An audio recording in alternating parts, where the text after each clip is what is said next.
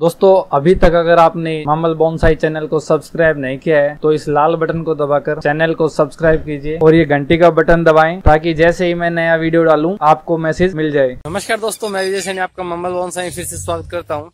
चलिए, आज का जो क्वेरी सेशन है वो आप स्टार्ट करते हैं। तो आज का पहला सवाल अलका जी का है। अलका जी कहते हैं, जो बोनसाई है वो हम क्यों बनाते हैं?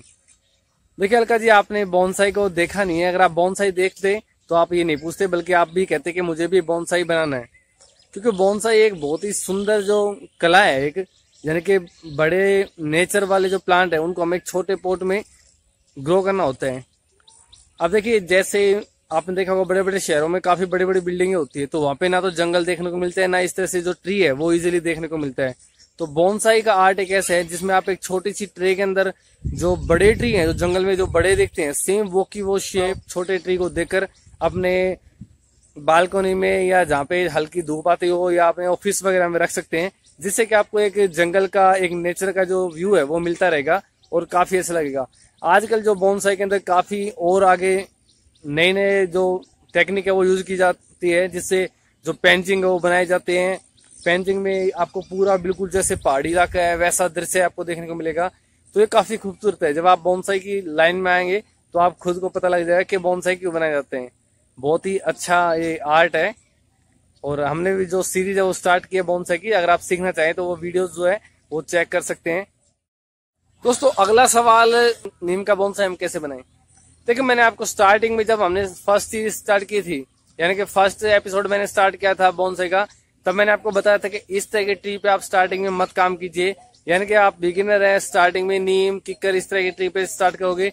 तो क्या होगा प्लांट आपसे मर जाएगा और आप क्या बोनसाई बनाना ही छोड़ देंगे। आप सोचेंगे क्या ये तो मुश्किल है, हमसे नहीं हो पाएगा। तो स्टार्टिंग में बिगिनर आप इस तरह की ट्री ना अपनाए। आप फाइकस ले सकते हैं। फाइकस इतनी जल्दी नहीं मरता। काफ़ी इजीली ग्रो होता है आप इजीली उसको बोनसाई बना सकते हैं। फाइकस में कुछ अच्छी ट्री है, वो आप देख सकते हैं। वो आप ले सकते हैं, जैसे फाइकस पांडा फाइकस टाइगर बाग ficus long island ficus retusa इस तरह से काफ़ी ट्री ऐसे हैं जो बोनसाई के लिए बहुत ही बेस्ट है। वो आप ट्राई कर सकते हैं और उनका बोनसाई बना सकते हैं। पेंजिंग में भी अगर आप टाइगर बार इस तरह के जो बोनसाई यूज़ करेंगे तो काफ़ी अच्छा लगेगा। दोस्तों, इस बार जब बारिश का सीज़न होगा, शायद उस टाइम पे हम कुछ पेंजिंग बनाएँगे। जो मेरे पास कुछ खंगर के जो प्लांट जो रखे हैं पत्थर, उन पे हम जो पेंजिंग है वो बनाएँगे। और आपको भी बताएँगे कि किस तरह से आप जो पेंजिंग है वो बना सकते हैं। काफ़ी अच्छा एक आर्ट है, वो भी बोनसाई का डेवलप हिस्सा है। यानी कि बोनसाई के बाद जो पेंजिंग है वो बनाने स्टार्ट हुए थे। जो नीम का आपने पूछा कि नीम का बोनसाई बनाना, देखिए नीम का बोनसाई आप बाद में ट्राई कर सकते हैं जब आपको बोनसाई बनाना आ जाएगा अच्छे से। क्योंकि स्टार्टिंग में आप करेंगे तो बोनसाई के अंदर जैसे कि मैंने आपको बताया था, जो फ़र्स्ट एपिसोड था हमारा, उसमें मैंने बताया था कि फाइबर रूट हमें चाहिए। जबकि नीम के अगर आप देखेंगे तो इसमें जो टैप रूट है वो ज़्यादा होती है, यानी कि जो मेन रूट है वो काफ़ी नीचे तक जाते हैं तो आप उसको कट करेंगे तो वो सर्वाइव नहीं कर पाएगा। तो उससे पहले आपको चाहिए कि आप बेसिक जो बोनसाई का वो सीख लें, जब आपको आ जाए, आप नॉर्मली कुछ प्लांट जब बना लें तो उसके बाद आप ट्राई कीजिए कि आप जो नीम है, उस पर ट्राई कर सकते हैं। कैसे आप उसको सर्वाइव कर सकते हैं। बोनसाई बनाना आप वायरिंग वगैरह कर सकते हैं उस पर लेकिन वो सर्वाइव इतनी जल्दी नहीं करेगा।